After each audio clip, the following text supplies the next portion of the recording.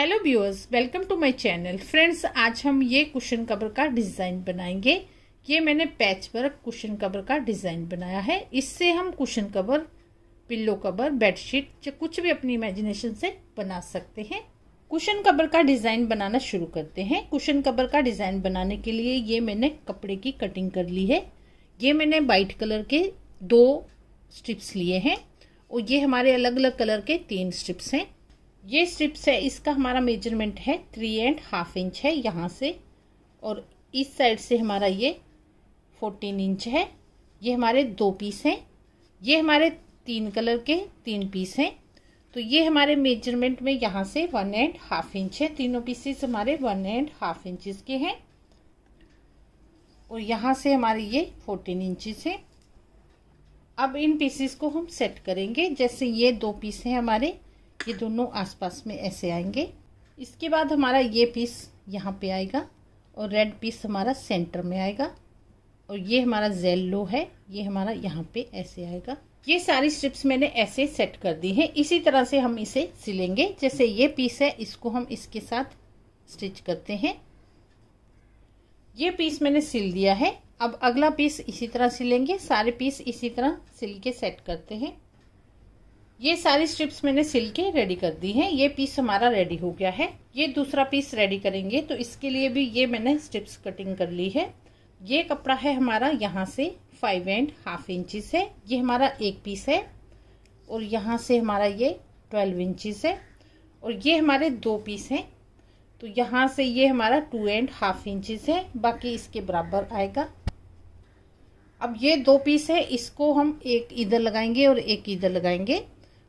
यहाँ पे हमें इस ये पीस भी सिलने हैं। इसके साथ यहाँ पे ऐसे सिलेंगे और ये हम ऐसे सिल के रेडी करते हैं। ये पीस भी मैंने सिल के रेडी कर दिया है। इसके बाद हम एक और पीस रेडी करेंगे। जैसे ये पीस हमारा फाइव एंड हाफ़ इंचिस है और ये दो पीस है हमारे। ये हमारे टू एंड हाफ़ इंचिस हैं। जितना हमारा ये पीस था, इसी के साइज़ का है ये। और ये हमारे दो पीस हैं, इसको भी हम ऐसे दोनों साइड में लगा के सिलाई करके रेडी करते हैं। ये पीस भी मैंने सिल के रेडी कर दिया है। ये हमारे तीनों पीसेस रेडी हो गए हैं। इनको हम आयरन करके ये जो सिलाइयाँ हैं, अच्छे से बिठा लेंगे।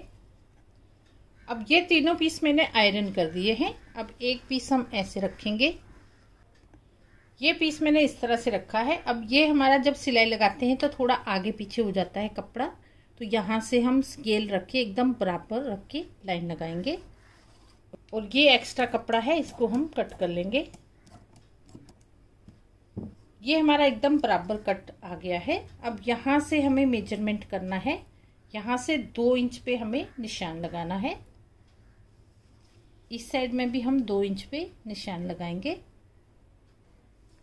और ये निशान है, इसको मिला के एक लाइन लगा लेंगे।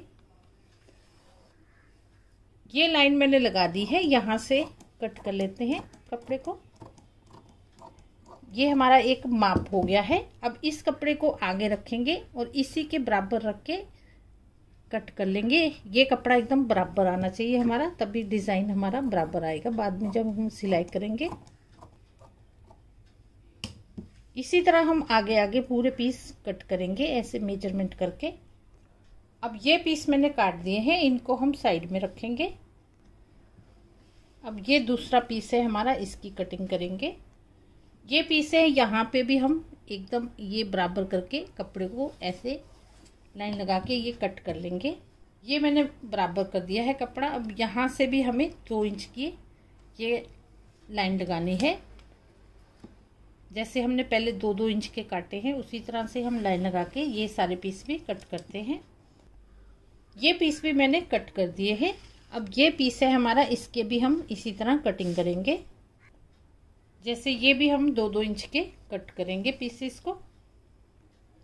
अब ये पीस हमारे रेडी हो गए हैं। अब इन पीसेस को हम अरेंज करेंगे।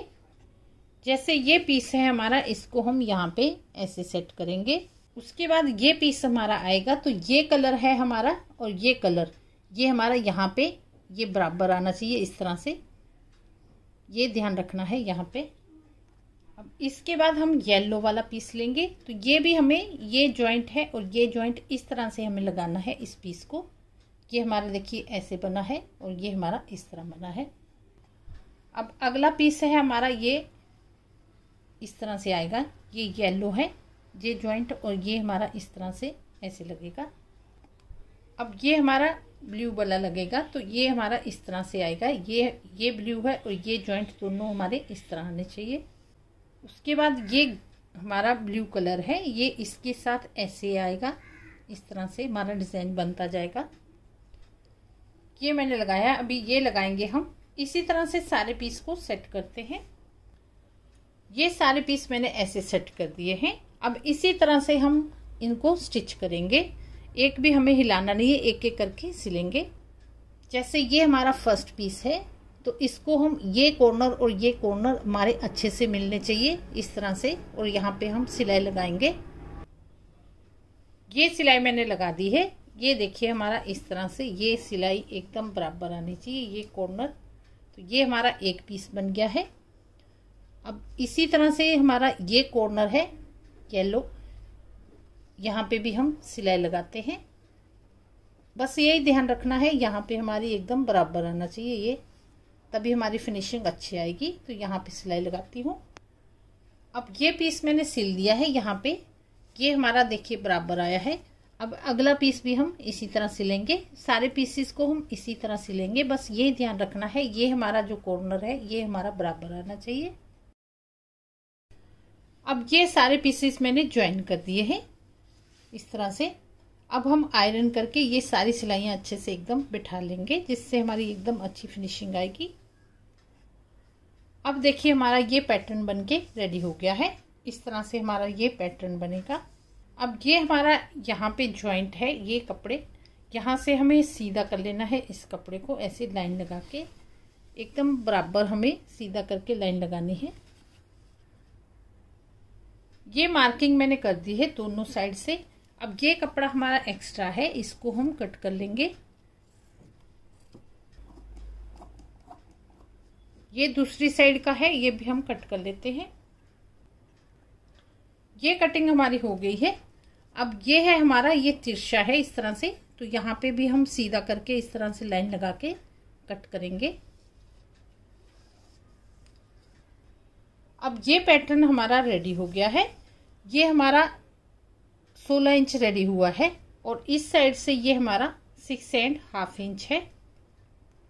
अब ये पीस हमारा रेडी है, इससे हम कुशन कवर बनाएँगे। तो ये मैंने इसके लिए बड़ा करना है हमें। तो इसमें से कोई भी कलर हम ले सकते हैं। इस साइड में ऐसे लगाएँगे और इस साइड में ये पीस हमारा लंबाई में इतना ही है और यहाँ से मैंने चौड़े में लिया है फाइव इंच ये भी हमारा फाइव इंच है।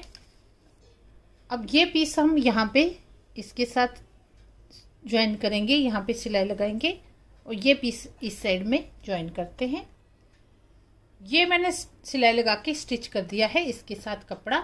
अब ऊपर से भी हम एक सिलाई लगा देंगे जिससे कि हमारी ये कपड़ा एकदम सेट आ जाएगा और एकदम अच्छी फिनिशिंग आएगी।